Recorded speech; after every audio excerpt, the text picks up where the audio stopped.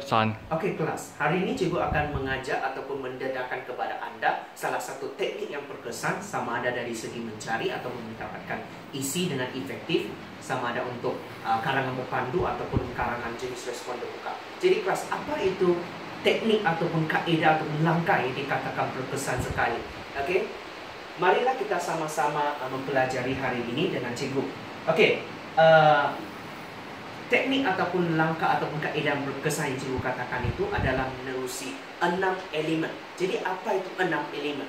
Cuba lihat papan putih ya, yang telah pun cikgu uh, sediakan separuhnya untuk memudahkan penerangan, proses penerangan ataupun penjelasan kepada anda semua. Okey. Okey, enam elemen ini dibahagikan kepada DI sampai ke A. Jadi apa yang diwakili dengan DI? DI mewakili diri manakala KI mewakili keluarga. MA pula mewakili masyarakat. SI pula mewakili sekolah. NI pula mewakili negara.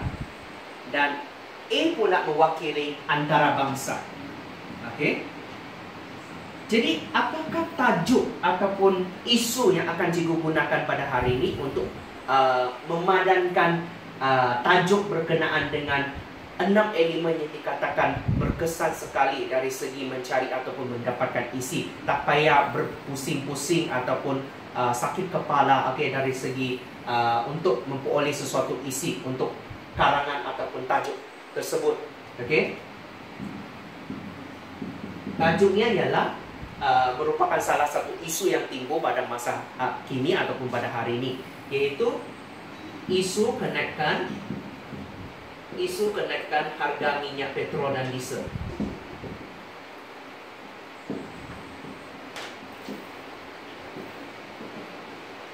Okey. Jadi macam mana ataupun bagaimanakah kaedah kita untuk memadankan uh, tajuk uh, isu kenaikan harga minyak petrol dan diesel dengan enam elemen ni. Okey, cuba kita lihat yang pertama, kita mulakan dari bawah. Biasa biasanya kita akan mulakan daripada atas ke bawah kan. Jadi kali ini kita bertukar, kita mulakan daripada bawah ke atas. Okey. Jadi contohnya, contohnya uh, berlakunya kenaikan harga minyak petrol dan diesel di pesada ataupun peringkat antarabangsa. Okey. Cuba anda fikirkan, adakah ini akan mengakibatkan ataupun membawa sebarang kesan ataupun uh, tekanan ataupun efektif kepada kerajaan kepada kerajaan Malaysia? Di kerana kerajaan Malaysia digelar sebagai salah satu sebuah negara juga untuk uh, mengeluarkan minyak ataupun memprodukkan minyak. Okey? Cuba anda fikirkan sementara cikgu menulis uh, nota-nota penting di papan putih sini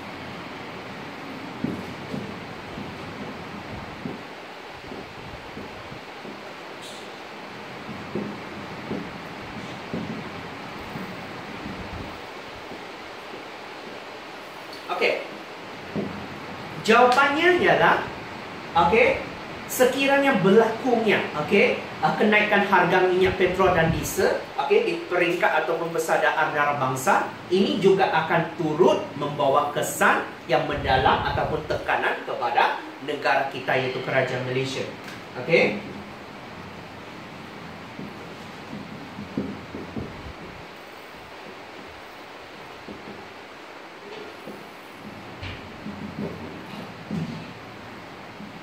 Okey, cikgu tulis harga minyak sajalah sebab uh, disebabkan uh, ruangannya yang tidak mencukupi memadai untuk uh, memasukkan okey uh, untuk perkhidmatan petrol dan diesel. Okey. Jadi sekiranya negara kita kerajaan Malaysia mengumumkan kenaikan harga minyak petrol dan diesel akibat tekanan yang dihadapi uh, daripada kenaikan harga minyak petrol dan diesel di peringkat ataupun pesada anak bangsa. Okey, jadi sekiranya uh, pengumuman kenaikan di dirasmikan. Okey, jadi adakah ini akan membawa kesan juga kepada sekolah? Okey, so sekarang ni kita lihat bahagian sekolah SE untuk sekolah. Okey, untuk sekolah mungkin kita boleh bahagikan kepada dua kategori. Okey, iaitu sekolah kerajaan. Okey, dan juga uh, yang kedua ialah sekolah swasta. Okey. Okey. untuk sekolah kerajaan mungkin tidak akan menghadapi sebarang masalah. Kenapa? Okey, disebabkan sekolah kerajaan masih mendapat bantuan sepenuhnya ataupun subsidi yang dibekalkan daripada pihak kerajaan. Okey, sebab sekolah kerajaan bermakna sekolah yang ditaja penuh oleh kerajaan. Okey, termasuk contohnya buku teks, okey, contohnya uh, guru-guru, okey, contohnya uh, kemudahan uh, prasarana yang didapat di sekolah. Okey, jadi secara hematnya, okey, sekolah kerajaan tidak menghadapi sebelah masalah, okey, daripada kenaikan harga minyak petrol dan diesel yang diumumkan. Okey, manakala untuk sekolah swasta pula, okey, sekiranya kita berfikir secara uh, drastik, okey, yang akan uh, menghadapi masalah dari segi pengambilan pelajar baharu dan juga mungkin dari segi uh, masalah kewangan. Okey, sebab untuk sekolah swasta biasanya uh, modal yang diperoleh uh, keutamaan modal yang diperoleh adalah daripada yuran pelajar.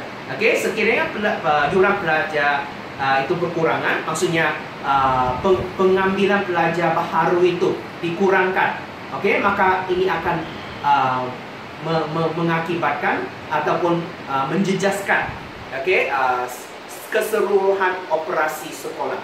Okey dan secara seriusnya pada akhirnya mungkin sekolah swasta tersebut ataupun institusi swasta tersebut akan ditutup atau ataupun akan diberhentikan daripada operasinya. Okey? Cikgu memberikan salah satu contoh. Contohnya ada sebar ada sepasang suami isteri yang telah pun uh, membuat keputusan yang drastik ataupun yang bijak untuk menghantar anak mereka ke sekolah swasta apabila anak mereka menamakan pelajaran di uh, peringkat taja 6. Okey? Jadi uh, pada masa anaknya menamakan pelajaran di taja 6 iaitu selepas menduduki pemeriksaan ujian pencapaian sekolah rendah UPSA, pada masa itu juga kerajaan Malaysia um, mengumumkan kenaikan harga minyak petrol dan diesel. Okey? Jadi cuba anda fikirkan, adakah ini akan me, akan uh, ini akan mengakibatkan keputusan drastik yang dibuat oleh uh, suami isteri ini, oleh ibu bapa uh, pasangan ibu bapa ini akan uh, terjejas maksudnya akan uh, akan dipertikaikan. Okey? Jawapannya ialah ya. Okey. Ibu bapa um, uh, ibu bapa tersebut okey akan membuat pertimbangan semula, okey, ekoran di uh, kawasan uh, persekitaran kawasan perumahan mereka terdapat sebuah sekolah menengah, okey, yang begitu terkenal sekali. Okey. Tambahan lagi, okey, jarak di antara sekolah mereka, okey, dan juga uh, uh, dengan rumah mereka adalah berjauhan. Okey, jadi uh, ibu bapa pas ibu bapa tersebut akan uh, mempertimbangkan dari segi yuran tambang bas ataupun minyak kereta ulang alik daripada rumah ke sekolah dan juga sekolah ke rumah. Okey, dan juga uh, akan mengambil kira juga okey dari segi uh, yuran uh, yuran yang akan dinaikkan oleh pihak sekolah ekoran kenaikan harga minyak petrol dan diesel okey dan juga perbelanjaan uh, tahunan pendidikan anaknya secara keseluruhan. Okey, jadi apa kebaikan sekiranya ibu bapa tersebut menghantar anak mereka ke sekolah bantuan penuh kerajaan yang berada bertekan dengan rumah mereka. Okey, mereka akan mereka akan men, uh, menjimatkan ataupun dapat menjimatkan okey uh, yuran tuition uh, di mana untuk dibayar untuk sekolah swasta. Okey, dan juga mereka dapat menjimatkan uh, minyak ataupun tambang kereta ataupun pengangkutan okey dan di sebaliknya mereka dapat mengumpulkan okey satu jumlah kewangan untuk menghantar anak mereka ke kelas tambahan okey jadi macam mana pula untuk uh, masyarakat? Sekarang ni kita beralih ke bahagian masyarakat. Okey uh, masyarakat ialah komuniti okey uh, penduduk tempatan okey yang tinggal di satu tempat. Contohnya termasuk rakyat jugalah uh, okey Sekolah pun kita sudah nampak ada akan uh, mendapatkan uh, kesan okey ekoran ataupun impak ekoran daripada kenaikan harga minyak petrol dan diesel. Jadi masyarakat bahagian masyarakat ataupun penduduk uh, sejagat ataupun setempat okey turut akan menghadapi uh, masalah penangguhan hidup mereka. Okey, maksudnya masalah bajet kehidupan mereka. Contohnya makan, contohnya uh, bayaran utility, utility maksudnya elektrik ataupun uh, air, okey, ataupun bil-bil ataupun hutang-hutang Okey, semasa. Okey.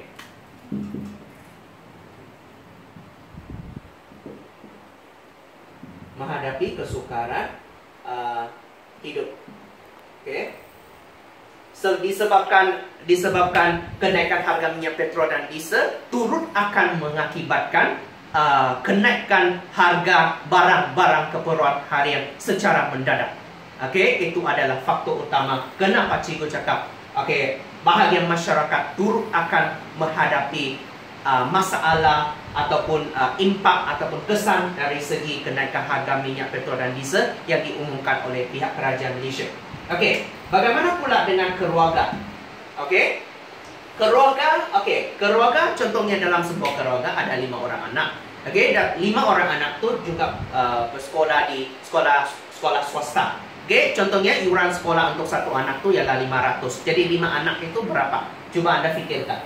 Okey, belum lagi campur dengan iuran pembangunan sekolah, iuran tuition, okey, uh, iuran uh, pemberian uh, pemberian persediaan okey pembukaan sekolah sesi akademik atau persekolahan yang baharu okey jadi ini juga akan uh, membebankan okey kenaikan harga minyak dan petrol dan diesel juga akan membebankan okey uh, penangguhan uh, ibu bapa. Okey.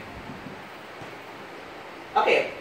Macam mana pula dengan uh, elemen yang diakhiri diri? Adakah kenaikan harga minyak petrol dan diesel sebagai uh, kita bincangkan ataupun kita uh, tebatkan okey? Uh, berkaitan dengan diri. Okey adakah diri juga akan diri itu merujuk kepada seseorang pelajar itu? Adakah seseorang pelajar itu turut akan menghadapi masalah okey kewangan ataupun uh, mendapat kesan ataupun impak ekoran dari segi kenaikan harga minyak petrol dan diesel? Okey Contohnya uh, uh, sebelum kenaikan harga minyak petrol dan diesel, okey ibu bapa memberikan RM10 untuk anak seseorang anak itu untuk ke sekolah sebagai uh, wang saku, okey untuk membeli makanan, okey sarapan, uh, makanan tengah hari, okey dan sebagainya. Okey, tetapi sejurus kenaikan uh, harga minyak petrol dan diesel, okey ibu bapa ini telah pun membuat keputusan untuk mengurangkan okey yuran uh, ataupun wang saku perbelanjaan harian okey dari uh, dari 10 ringgit okey ke 5 ringgit. Okey jadi dari uh, kita mau observe dari segi aspek ini okey diri kita sebagai pelajar turut akan mendapatkan kesan ataupun impak yang negatif ekoran daripada kenaikan harga minyak petrol dan diesel okey wang saku dikurangkan okey wang saku dikurangkan Okey, jadi secara keseluruhannya, secara keseluruhannya, kenapa okey kita balik ke bahagian negara, okey iaitu kerajaan Malaysia. Okey, kenapakah kerajaan Malaysia nak mengumumkan kenaikan harga minyak petrol dan diesel? Sekiranya kita berfikir secara rasional ataupun secara positif.